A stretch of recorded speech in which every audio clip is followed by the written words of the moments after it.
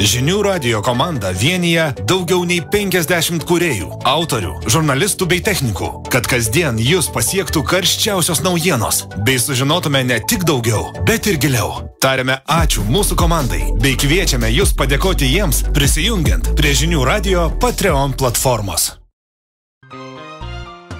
Apie tave.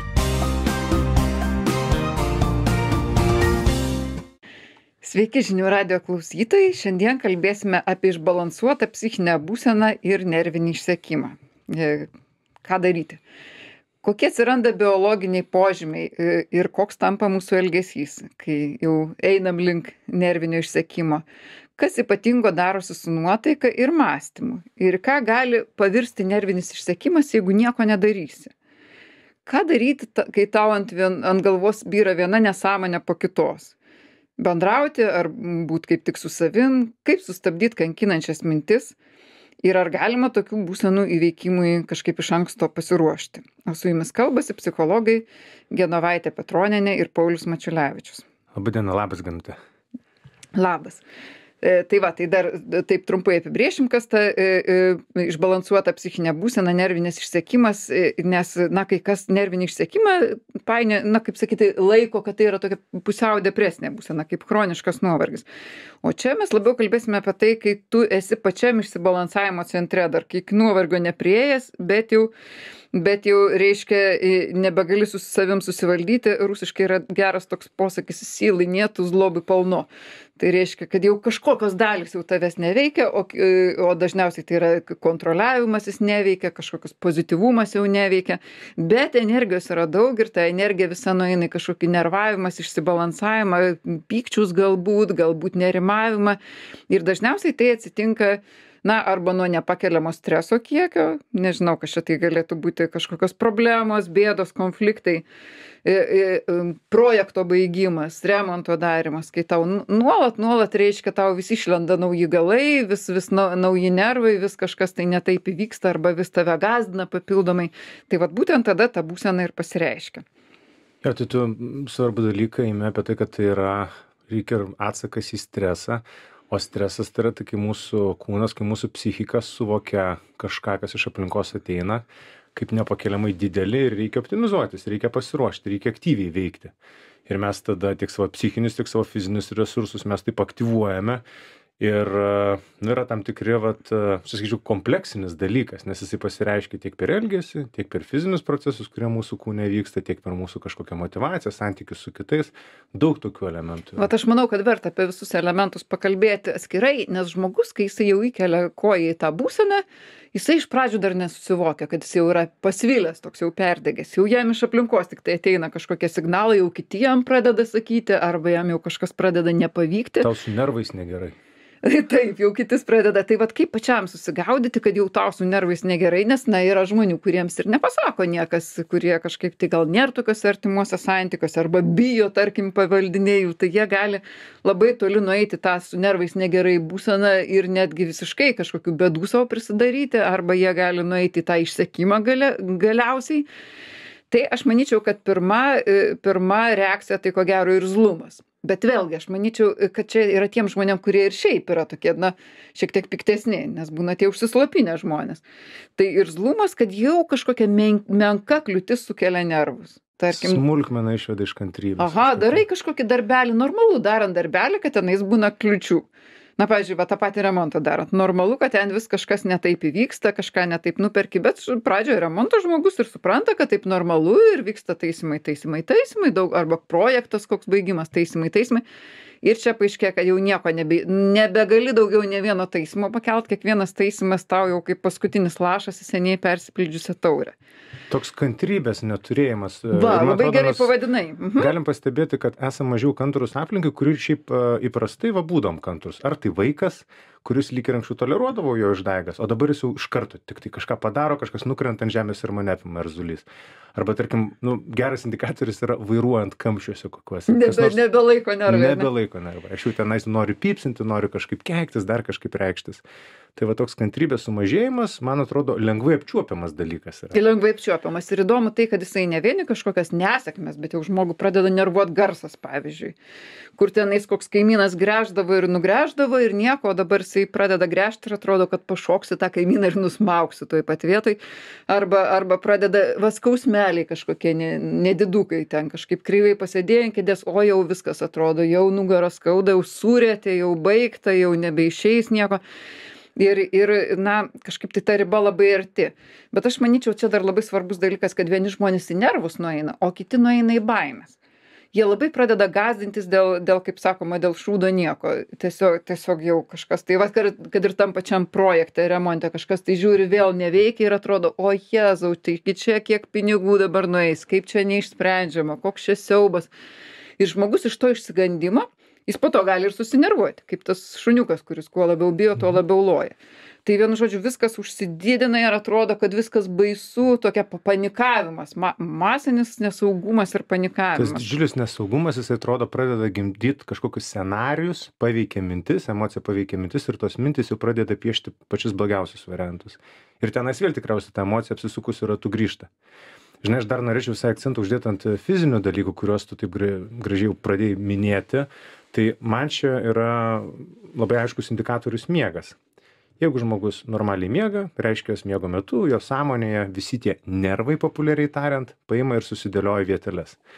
Bet jeigu tu užmiegi arba net neatsimeni, kaip užmiegi su kažkokiu nerimastingo mintim, jeigu tu naktį pabudinėjai, jeigu ryte pirmas dalykas, kas tau yra, tai vėl tie scenarijai baimės, nepadaryti darbai kyla, veržiasi ir tu visą laiką jautiesi nepailsėjęs, tai va čia yra jau geras indikatorius, kad tu esi toj būsenai. Na, va tokiu geresniu atveju aš pastebėjau žmonės arba jaunesni, jie užmiega. Jie tiek būna nusibaigę nuo kovojimo su, su tikrais dalykais, su vėjo malūnais, nes jau viskas smegeniniai susimaišė ir jau kovoja nežinia su kuo.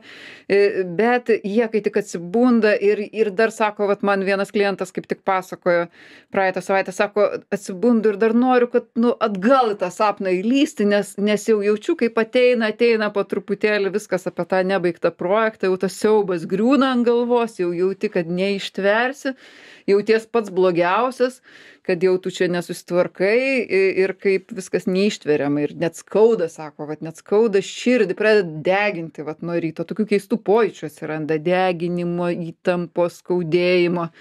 Ir vidaus organuose tas irgi labai jaučiasi, tai, tai ir širdis yra, ir virškinimo sutrikimai. Man dar įdomus dalykas su šitu yra, kad e, ir, pavyzdžiui, nu, lytinė funkcija ir trauka dinksta. Nes viskas taip išbalansuota organizme, kad tos mūsų tokios va bazinės, e, baziniai impulsai, kažkokie instinktai, kažkoks, kas yra santykiuose svarbu, paima ir tampa prislopinama. Nors įdomu, čia kai kurie žmonės atvirkščiai, pas kai kurios žmonės nerimas užkelia seksualumą ir tada jis pasidaro beprotiškas. Išvyka tokia. Žmonės ten masturbuojasi per dieną tris kartus ar dar ką, jau nebegali nuvalyti pas kai ką, bet e, dažniau ko gero taip, kaip tu sakai. Ir dar aš prie to pridėčiau, na visi žino už tą dalyką, kad labai nori suvalgyti saldumynų, bet ten yra kažkoks tai biologinis mechanizmas. Kad jį- būtent saldumynas veikia raminančiai, kad, kad susuryja streso hormonai cukrų kraujyje esantį ir prašo dar. Na ir žmonės e, e, viena vertus saldumynų noris, kita vertus e, su valgymu tai labai į skirtingas pusės nueina. Vieni raminasi valgymu jau be saiko ir auga svoris, o kiti kaip tik negali nieko suryti. Kaip taisyklė, jeigu labai didelis stresas. Man žinai, atrodo, čia yra susijęs su tuo, kad dinksta jautrumas savo organizmo kažkokiem poreikiam. Pavyzdžiui, tokie žmonės, jie gali kavą pumpuoti vieną puodelį po kito, kaip su sakai saldainiais, kimšti, kol jau fiziškai daugiau nebetelpa arba vimdo. Nes aš nejaučiu, kada man gana. Aš nejaučiu, kada man gana cukraus, kada gana e, kofeino, nes viskas, kas yra viduje, tampa prislopinta. Ir vat e, besaikis vartojimas bet ko, ar alkoholis, tai yra, ar tarkim, va, kažkokios stimulacijos, kurias tu irgi paminėjai, jisai visiškai tampa be ribų. Nes aš Mhm. noriu kažkokį vidinį paimti ir užkišti ir nežinau, kada gana. Na va, kiek daug baisių yra poveikių, jau pagal kuriuos galima pradėti gaudytis, bet pats laikas padaryti pertraukėlę. Apie tave. Taigi šiandien grįžtame į radio eterį su e, tema apie nervinį išsekimą, emocinį išsibalansavimą ir manau svarbu pasakyti, e, va sunku pasakyti, kiekvienas žmogus pamato per pirmą kažkokį, pagal pirmą požymį, kada jam kažkas jau neišeina. Na aš dabar galvoju apie save. Aš ko gero fizinius dalykus taip greit nepajuntu bet pajuntu kad jau jeigu aš darausi irzli tai jau reiškia blogai yra. Nes nu šiaip normalioj būsenoj aš ne nesu irzlus žmogus. Ir dar vienas e, e, dėmesio koncentracija. Kad ramiai paskaityt knygos gabaliuką kažką tai arba e, jau sunku darosi. Arba žmogus pradeda pamiršinėti. Va aš aš pati save pastebiu jeigu aš jau pamiršau per savaitę porą dalykų viskas jau reiškia blogai yra nes šiaip ga gana koncentruota esu nepamiršinėju tenais nei raktų kokių nors nei nei klientą kad užrašiau. Jeigu jau pamiršau porą dalykų jau labai rimtai susimąstyt reikia. Man irgi atrodo dar ir tas toks abstraktus e, mąstymas problemų sprendimas kažkokių idėjų apjungimas jeigu darbe reikia kažką sudėtingiau atlikti tai e, pastebiu kad arba ilgiau užtrunka arba nepavyksta kelia frustraciją norisi numesti mhm. tuo pačiu metu dar atsiranda toks inertiškumas tu kažkaip nesugebi daryti bet nedaryti irgi negali taip taip čia labai įdomus dalykas kad pavyzdžiui žmogus gali sunku būti daryti va tos pačios užduotys kurias anksčiau darydavai jau jos tiesiog nesigauna galva neveikia. Bet ta pati galva sėkmingai tuo metu mala kažkokius tai scenarijus kaip tenais lentyną geriau prikabinti ar kaip tenais kažkokią užduotį darei nedadarei kaip ją geriau padaryti arba staiga tas pats protas kuris atrodo jau visiškai išsekęs žmogus vos ant kojų stovi bet kažkodėl paima ir peržiūri staiga keturias serialo serijas visiškai normaliai ir susikaupdamas tai gaunas toksai na kaip bendrai pasakius kontrolės ir valios susilpnėjimas kad tave tiesiog jau tąso tavo emocijos tąso tavo kažkokia tai bet kokios mintys ir ypatingai baisu kad galvoje sukasi nenustojamas va tas ruminacija atrajojimas minčių. Atrajojimas permąstymas per kurias žmogus niekaip negali pailsėti atsipalaiduoti.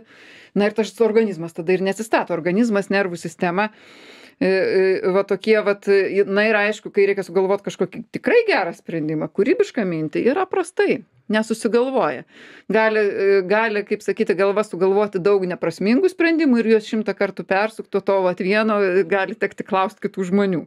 Toks žinai man piešiasi vaizdas apie visišką kontrolės praradimą ir nors procesas vyksta bet jame nėra nieko vertingo nieko kas man svarbu toks netgi savotiškas vertybių praradimas gaunasi nes e, aš darau esu lyg ir va šito viso teatro dalyvis bet visiškai nesiakcentuoju ir nesifokusuoju tai kas man iš tikrųjų svarbu.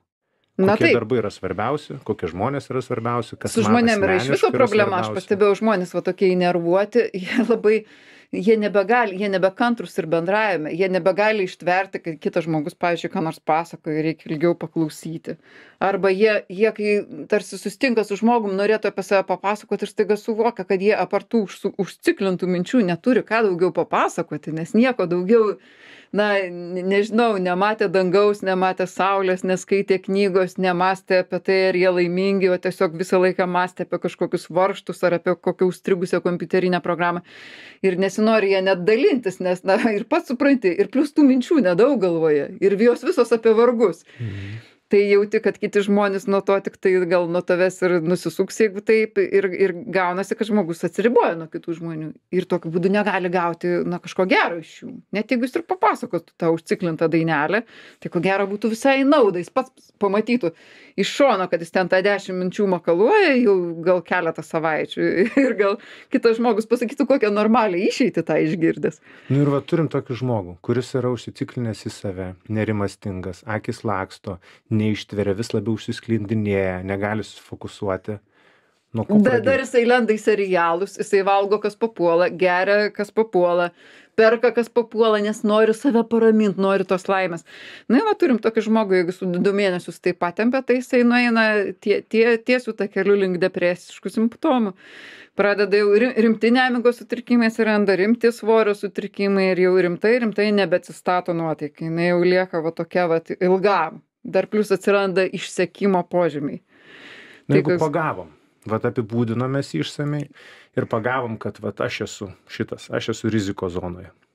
Kažkas Ką su mano daryti? nervais negerai yra. Mhm.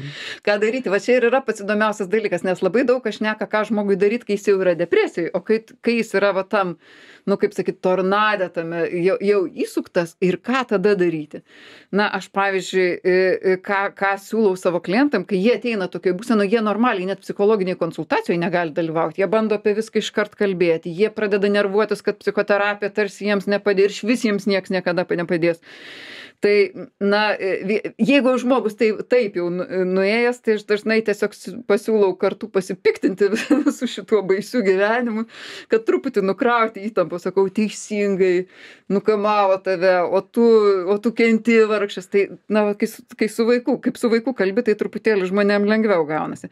Bet kai aš galiu taip pakalbėt tai okei bet kas reikėtų kad žmogus vidury to tornado būdamas kad jis pats sau taptų tuo sveiku suaugusiu ir sakytų nu stop stop stop aš dabar norėčiau dar nueiti ir išrėkti viršininkui viską ką galvoju arba žmonai viską ką ir o gal nereikia va toks švelnus balselis proto atsirastų ar bus geriau nuo to va toksai žinai, man tu labai patiko, kokį akcentą uždėjai, nukrauti įtampą, bet taip, kad jinai negimdytų naujos įtampos, bet tuo pačiu metu būtų išleista. Jeigu aš nueisiu ir aprieksiu vadovą, atsiras nauja įtampa, ar ne? Nes konfliktas, tenai santykiai ir taip toliau, aprieksiu žmoną ir reikės kitus dalykus spręsti. Bet kaip išveikti tą įtampą, kuri nori, nenori mane konkuliuoja, bet kad aš nežaločiau santykių, nežaločiau kažkokių tais e, savo darbinių tenais e, procesų, kurie vyksta, nežaločiau savęs fiziškai, apie tą kišimą kalbam, ar ne? Varasti konstruktyviai, kaip išveikti įtampą iš savęs. Nu vat kaip išveikti įtampą visų pirma ar ne kažkokiu būdu susistabdyt ir toliau visko negriauti. Nes norisi viską dabar ai vis tiek nieks neišeina tai viską sugriaunam iki galo. Tai tai tai kažkokiu būdu susistabdyt nuo griovimo. O toliau jau įtampa įtampa tai labai sudėtingas dalykas. Aišku jeigu žmogus sportuoja pavyzdžiui jeigu jisai tų gali ten nueit parėkti paverkti vat pasikeikti su kažkuo nebūtinai su psichologu su kokiu geru draugu aišku žmonės tą daro pasiėmę taurelę ten jau visa įtampa išvažiuoja lauk bet nu abejotinas metodas sakykime nes kitą dieną vėl viskas grįžta.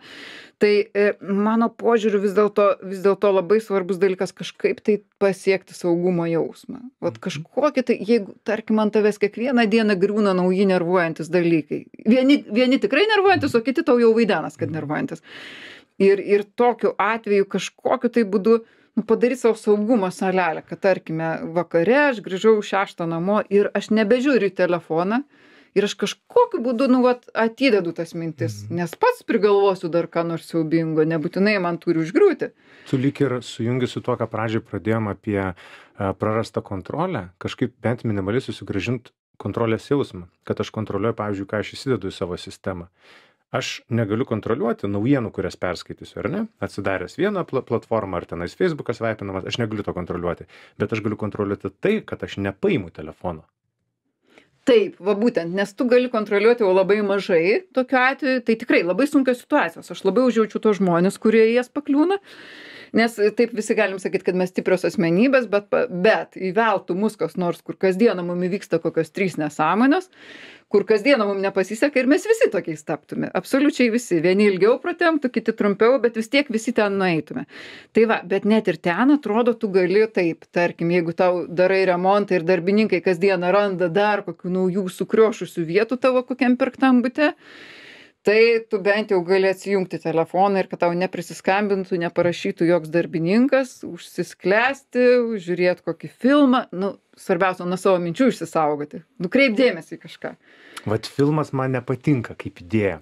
Sutinku, kad mintis reikia nukreipti nuo to viskas, kas tenai sukasi. Tiesiog filmas atrodo toks atidėjimas, o ne pailsėjimas. Da, bet matai, žmogus, kai susikoncentruoja į filmą, aš tik nesiūlau, nesiūlau žiūrėti serialų, kaip sakyti, kaip užgėrimas tie serialai gaunas naktį, bet jeigu vieną normalų filmą, tai jisaigi kokį pirmą pusę valandos jis filmo nemato, jisai tik tai skaičiuoja visas įvykusias nesąmonės, jaučia, koks klaikus pasaulis ir kaip viskas žiauru ir koks jis auka ir tiktais paskui pradeda matyti kad o truputėlį įdomu kas čia vyksta tam ekrane. O tai gal čia ir paskui kažkuriam momentui jisai prisijungia prie to. Ir tada jis sustabdo tą baisią ruminaciją savo viduj.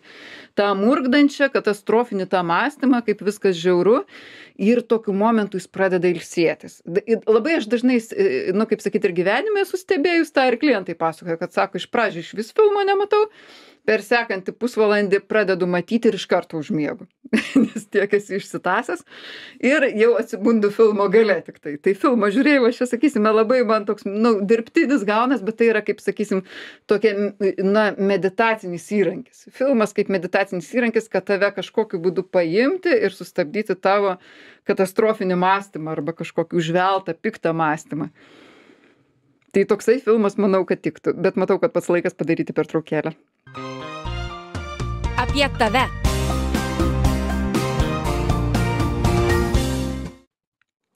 Taigi grįžtame į žinių radio eterį, šiandien kalbame apie išbalansuotą psichinę būseną, nervinį išsekimą ir, na, ieškome dar pasiūlymų. O gerai, Pauliau, o kaip tu, pavyzdžiui, taigi negali būti, kad nebuvai išsekęs niekada, kaip, kaip tau yra buvę kokią nors pavyzdį, pasakyk. Um, tai aš tikriausiai pasiekiau va, tą tokį visišką dugną, kur uh, visas sudraskytas, sėdėjau ant žemės, susiemęs uh, už galvos ir žinojau, kad visas pasaulis grūna. Ir va tame etape, kur jau atrodo visiškai buvau praradęs absoliučią kontrolę, kažkaip iš aplinkos atsirado žmonės, kurie pastebėjo ir kurie jautriai tą dalyką sureagavo. Sako, tiesiog toks paprastas atsakymas, viskas išsispręs, neaišku kaip, bet bus gerai. Ir tas va santykis su žmogumi man tapo ryšiu, kuris man pradėjo padėti kapstytis iš tos vietos. Tai man pasisekė šitoje vietoje. Bet uh, tada kai aš reflektavau tą situaciją kodėl taip nutiko aš supratau kad aš pervertinau save aš buvau tuo metu labai entuziastingas kad galiu atlikti mm, viską per daug ėmeisi taip per daug ėmiausi ir mm. tikėjau kad viską galiu nes nu dabar mums ta žinutė taigi yra gerai maitinama. Mes viską o, galim taip, mes taip. viską galim. Mes esam um, tokie galiūnai kurie gali ir išmokti ir suprasti ir pasiekti ir uždirbti ir visa kita. Ir man atrodo kad žmonės kurie vat patenka į tą tokį nervinį išsekimą jie iš tikrųjų save truputėlį pervertina. Man atrodo visai sveika yra gerbti ir taip kukliai žiūrėti savo pajėgumą. Ką aš galiu ir ko aš negaliu. Ir jeigu aš galvoju kad aš galiu viską aš esu toj rizikos zonoj Ir labai gerai, kad tą pasakėjai, nes e, e, žmogus, kuris, gal, kuris turi tokią asmenybės dalį, tokią optimistinę, sakysim, šio laikinio optimistinę, jisai nuolat įstumia kitą savo asmenybės dalį, savo tą vaikišką jautrę dalį, tą tokį, sakysime, vidinį vaiką, kuris o vaikiška dalis visada visko labiau bijo ir kai kurie žmonės yra iš, iš viso super jautrus ir tai nieko blogo, taip, tai, taip yra. Tai jeigu tu turi va tokias dvi dalis, viena, kuri super suplanavo, o kita super bijo, tai tu vienareikšmiškai dažnai pakliūsi va į tokius tornadus. Tai jeigu jau turi tą jautrąją dalį, tai reikia, kad tos dalis būtų susisiekę. Nes... Pasirūpinti reikia tą savo taip, taip, nes taip, šita planuoja, o na išakės. E, tai čia labai svarbu, manau. O dabar aš galvoju, man, aš atsimenu tokį labai fainą, kažkada tai buvo irgi patekus, aš kažkokį remontą dariau, buvo labai sunku, jau man ten byra ant galvos visiškos nesąmonės, čia vienas darbininkas laidą pragrėžė, kitas darbininkas tenais dar kažkokią tai pridarė, finansai eina kaip kanalizacija ir ir aš atsimenu kaip tik kaip tik psichoterapiją lankiau tuo metu ir man psicho supasakojau psichologui jisai sako oi oi oi oi nu sako sako tiesiog pabūkim ramiai dabar sako. Jau supratau kas vyksta sako dabar sako tiesiog pabandyk sako pakvėpuokim kartu tiesiog. Ir sako sakyk viską kas tau galvoje vyksta kas tavo viduj vyksta kai mes kvėpuojam aišku aš nespėjau sukvėpuoti kelių kvėpavimų ir sakau man lenda į galvą kaip sutaisys tą laidą ar nesutaisys. Gerai jisai sako žiūrėk sako įsivaizduok kad čia kaip kokia radija birbia iš labai toli kad sutaisys laidą nesutaisys laidą sutaisys ne sako gali ją žiūrėt taip iš toli? Nu gerai aš žiūriu kaip iš toli. Aš sakau ne garsėja gar rėkia jisai nesutaisys laido. Nu sako bet čia radijas sako prisukim truputėlį kvėpuojam toliau. Tada man išlenda kita mintis kad kam aš pirkau tą spintelę tokią brangią kuri dabar neišeina atiduot ir kvitą pamečiau. Ir sako gerai vat ir tą stebi mintį reiškia kvėpuojam sau čia prisukam garsą prisukam. Tegu jos visos rėkia o mes sako dabar esam kartu mes kvėpuojam mes rūpinamės kad tau būtų gera kad tu jaustum savo kūną. Ir aš atsimenu mes taip pakvėpavom kartu net net ne pusvalandį mažiau net kokį dvidešim minučių ir tikrai nutolo kai aš priėmiau kad tos mintys taip visos ateina tokios vat e, nu kaip sakyti tos rėkiančios. Ir kad aš vis tiek turiu teisę kvėpuoti turiu teisę sėdėt ant šitos kėdės ir tos mintys gali palaukti Aš jau kai nueisiu ten pas tuos darbininkus, mąstysim, taip taisyt, kitaip, kur dėt tą spintelę, nedėt, kad nereikia man dabar vat, išeiti iš proto, tai kad va, va, kažkas netaip nusisekė. Atrodo, kad tavo terapeutas tave taip gražiai pagražino iš ateities, baimių ir planų ir vizijų ir išminčių į tokius fizinius pojūčius ir į dabartį. Kas Taip, vyksta, ir pasirūpino labai taip jautriai, kaip šiltai, kad, Mhm. nu, žmogau, aš su tavim, aš tau noriu gero. Tai nėra taip svarbu. tu tau neturi skaudėti dėl tų. Taip, teisingai sakai. O dabar, žinai, iš, norėčiau sureaguoti tai, ką, ką tu pasakėjai. Man irgi atrodo, kad ir, ir man pačiai taip yra daug kartų buvę, kadangi turiu daug draugų ir dažnai bendrauju su jais, tai, nu, žinoma, aš ir dalinuosi tuo, kas man ten sekas, nesiseka. Ir daug kartų tą pastebėjau, kad papasakoji žmogui, kuris yra visai toli nuo to projekto kažkokio, tai nuo, nuo kažkokių paskaitų, nuo, nuo, nuo remontų taip toliau, bet tiesiog žmogiškai papasakoji, kas tau darosi.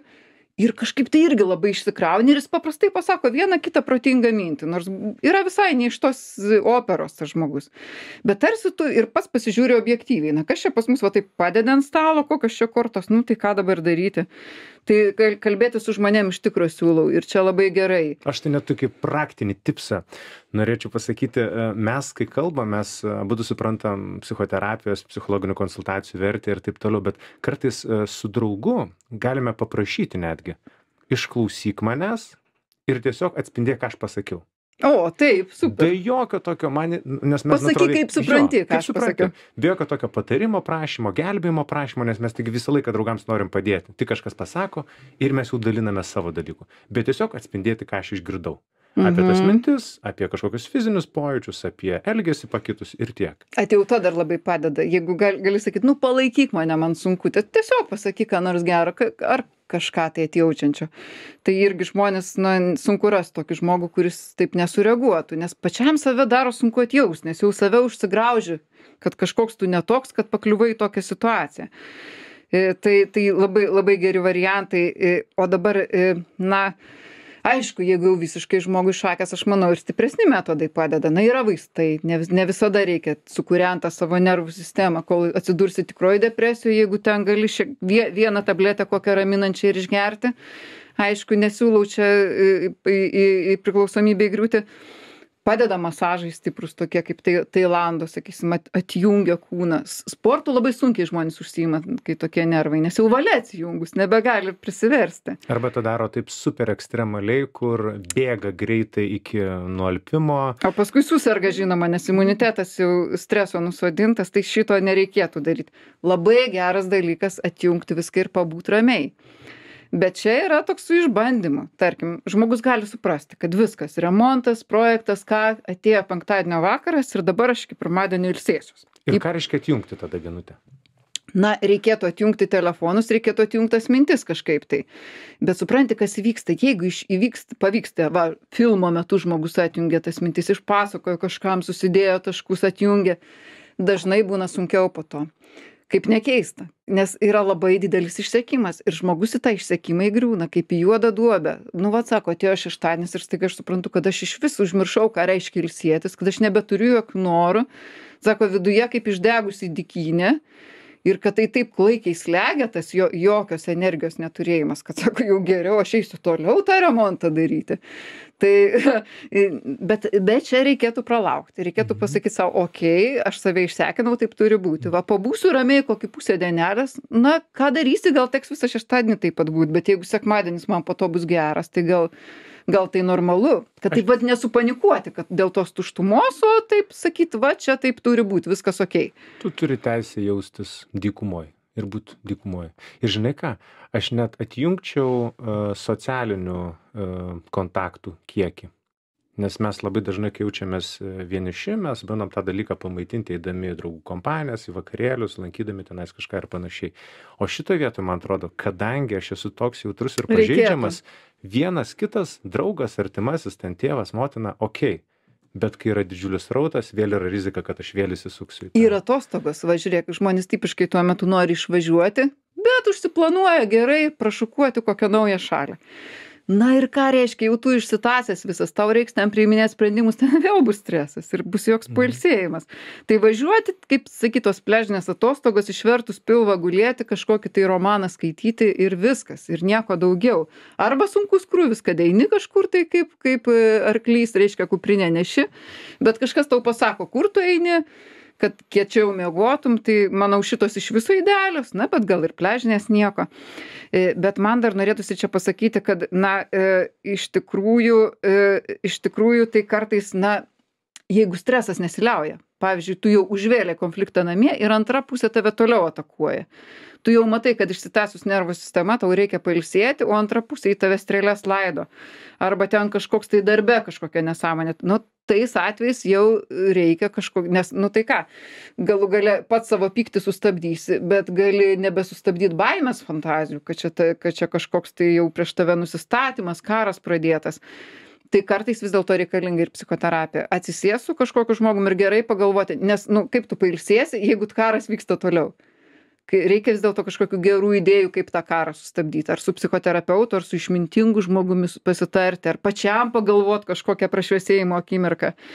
Nes nu čia ilsėkis nesilsėjęs tas karas tave atgal nutemps Jo, ir tada tas e, konsultacija, jinai nu netampa kažkokiu tais gydimu, ar ne? Ne, ne taip mes turėtume suprasti. taip, taip. Tai, tai yra tiesiog, aš pastebėjau, kad su manim kažkas vyksta ir aš noriu truputėlį pasiremontuoti, ar ten suvokimą, ar aplinką, ar savo veiksmus, kuriuos aš darau tam, kad man būtų vėl patogiau būti.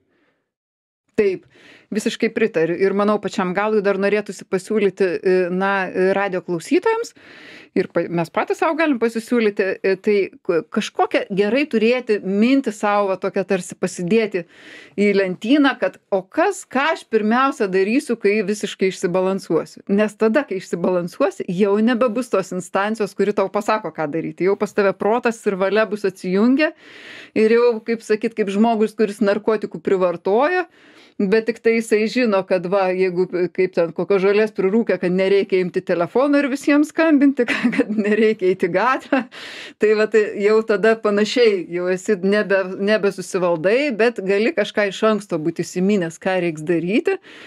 Na aš galvoju aš pati sau tai pasakyčiau kad jeigu jau aš įvažiuočiau į destrukcijos zoną tai aš sau pasakyčiau svarbiausiai e, nesusiriet su visais nesugadint santykių su žmonėm reiškia. Nesugadint santykių su žmonėm bandyk nu kiek kiek įmanoma tiek išlikti taikoj. Jau gali skųstis bet jau neka nekovot vat aš sau tokį pasakyčiau pastebėjai kad kovoji viskas viską išjungi kol nepradėsi elgtis normaliai tol ne nevažiuok Čia tokia kaip vos ne namų darbai klausytojams gaunasi, kurie neturi nervinio išsiekimo būsenos dabar. Bet visi ją kažkada jo, turėjo. Yra rizika, jo. ką tu Arba- sau pasakytum pavyzdžiui iš anksto Mano inkaras tai yra sportas. Labai- kad jeigu blogai tai Taip. susikaup visas ir eksportuoti superinis ir būdas taip sportuoti lengvai ir ilgai. Mano toks yra receptas. Aš lietai bėgu, šlepsiu arba einu per mišką pusantros valandos. Va Mhm. toks yra mano inkaras. Ir nesvarbu, ar tai yra vos neskirybas pasiekiantis konfliktą šeimoje, ar tenais e, kažkur aš buvau emociniai krizė, nes na, ten dėl darbinių dalykų atsirado, ar ne. Visą laiką žinau, kad vat, tas pusantros valandos gali būti mano inkaras. Nepasveiksiu aš nuo to, bet palengvėjimas gražins kontrolę į mano rankas. Taip manau puiku. Ir ir aš sau dar pasakyčiau kad tiesiog viską išjungt ir ir pabūti ramiai. Net jeigu reiks perkęsti tuštumą bet tai gana greit atstato jėgas. Tai va linkime klausytojams savo susirasti ir i pag pagalvot net dabar mūsų klausant o e, apie tai kas jum padėtų tokiu atveju ir pagalvoti kiek dabar pas jus yra nervinio išsekimo nes niekam ne paslaptis dabar labai daug žmonių nerviškai išsekę tai dėl to tą laidą ir darome. E, Ir taip pat e, e, tuo e, baigiame laidą. Kviečiu e, mūsų klausytis kitą penktadienį. E, Ir taip pat e, pasidomėti mano internetinė svetainė, kur yra daug, daug visokios įdomios psichologinės informacijos. Na, o šį ir kitus laidos įrašus rasite ziniųradijas.lt. Iki. Apie tave